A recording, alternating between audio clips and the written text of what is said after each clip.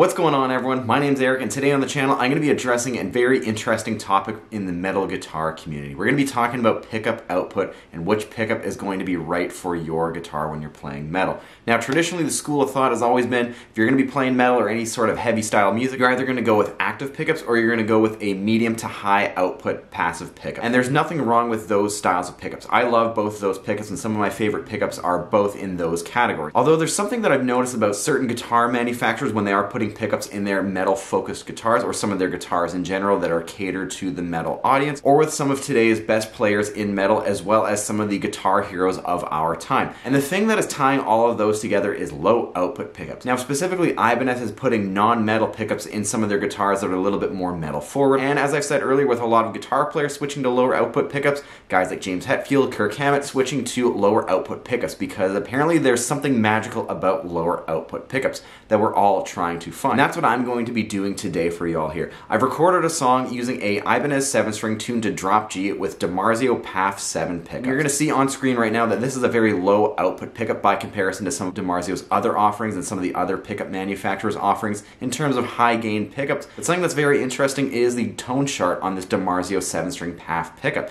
It's that it does not have a lot of low end, and it seems like the mid range and the high end is kind of articulated in a very interesting way that actually might work pretty well for low tune guitar. So there's only one way to find out if the low output pickups are actually going to work for metal or not. Let's hear it in a full demo mix.